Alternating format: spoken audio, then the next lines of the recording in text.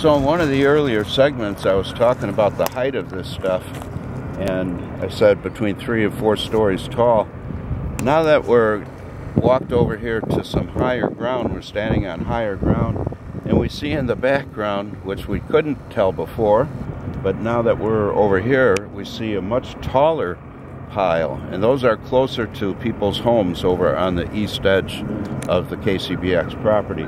So those look like they could be five, six stories tall. I mean, that, I haven't seen them that tall and in that uh, uh, great size of uh, hump over there.